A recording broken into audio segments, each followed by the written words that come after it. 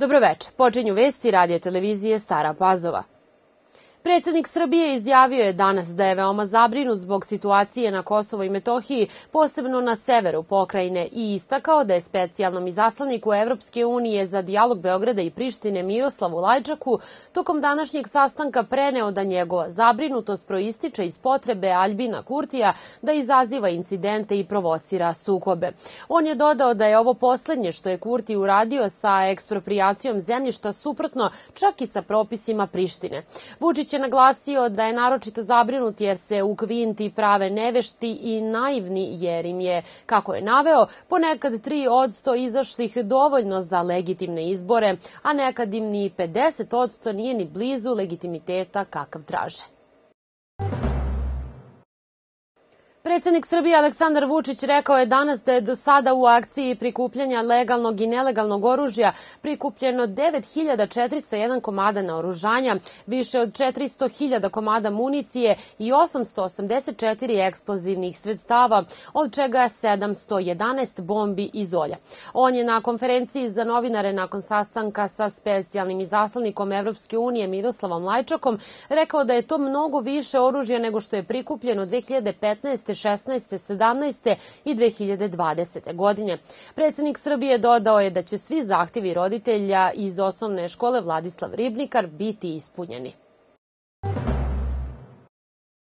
Od danas do 8. juna obustavljen je saobraćaj zbog radova na rehabilitaciji dela državnog puta drugog A reda broj 100 od Inđije do centra Stare Pazove.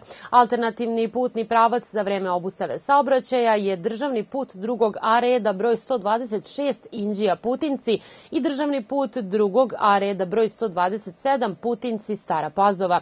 Radovi će biti obeleženi adekvatnom saobraćajnom signalizacijom i opremom. U sklopu akcije prolećnog uređenja naselja javno komunalno preduzeće Čistoća Stara Pazova vršit će besplatno odvoženje kabastog otpada prema sledećem rasporedu. Sutra, odnosno 13. maja, Nova Pazova, Vojka Krnješevci. Subota 20. maj, Surduk, Belegiš, Stari i Novi Banovci, naselje Banovci Dunav i subota 27. maj, Stara Pazova i Golubinci.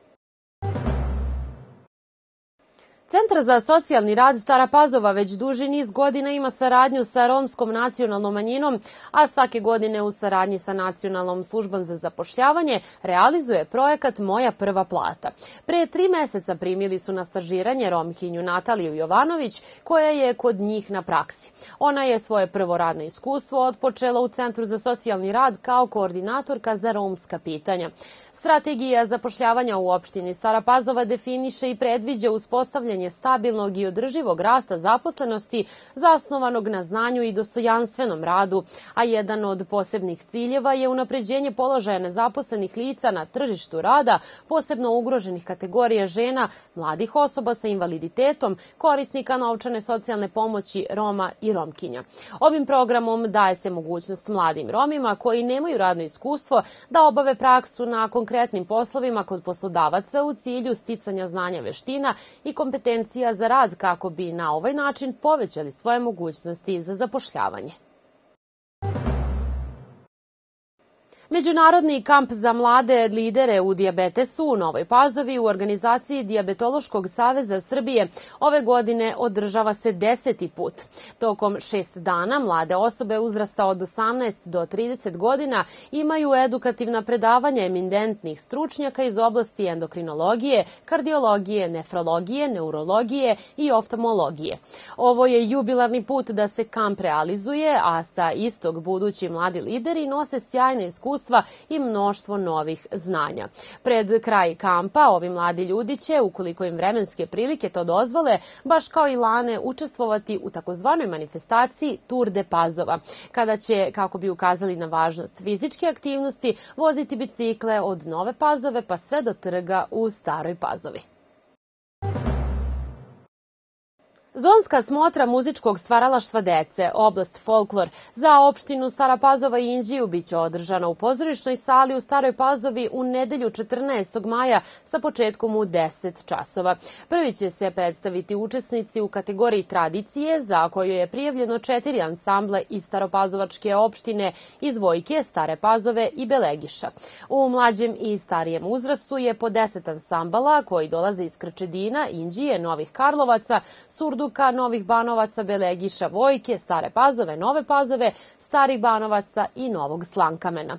Selektor zonske smotre je Dejan Trifunović, koreograf iz Pančeva, koji će nakon smotre održati razgovore sa umetničkim rukovodiocima. Organizator smotre je Savez amatera opštine Stara Pazova uz podršku opštine Stara Pazova. Biti dobrovoljni davalac krvi je najhumaniji čin koji od nas ne zahteva mnogo, a davanje ove dragocene tečnosti spasava živote. U nedelju u Novim Banovcima ispred osnovne škole u vremenu od 9 do 13 časova nalazit će se transfuziomobil Pokrajinskog zavoda za transfuziju krvi, te Crveni krst poziva sve plemenite osobe da se odazovu redovnoj akciji dobrovoljnog davanja krvi. U 26. kolu Srpske lige Grupa Vojvodina jedinstvo će na svom terenu dočekati ekipu Dinama 1945. Omladinac dočekuje Nafta Gas iz Zelemira, a Podunavac igra sa OFK Bačkom iz Bačke Palanke u Belegišu. U 26. kolu Vojvođanske lige Grupa Jug Dunav iz Novih Banovaca gostuje Slaviji u Novom Sadu, dok će radnički u Novoj Pazovi dočekati futbalere Šajkaša 1908 iz Kovilja. U 26. kolu Sremske lige Jadran u Golubincima igra sa Šumarom iz Ogara, a Sremac iz Vojke putuje u Irig, gde ga očekuje utakmica sa domaćim futbalerima Radničkog. Sve utakmice igraju se od 17 časova.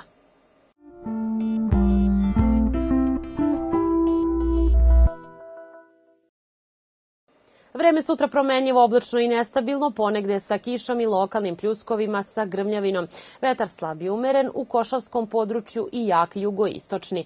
Najniža jutarnja temperatura od 7 do 10, najviša dnevna od 18 do 21 stepen.